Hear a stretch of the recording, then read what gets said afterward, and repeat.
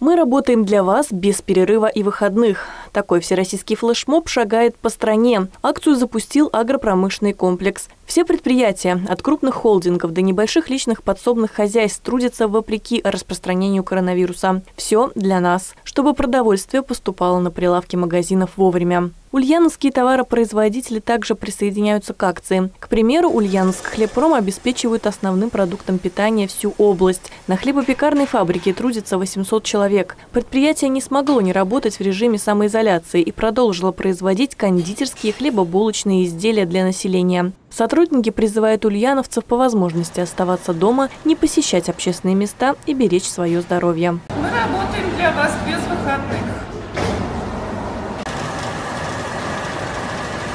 Мы работаем для вас без выходных. Мы работаем для вас без выходных.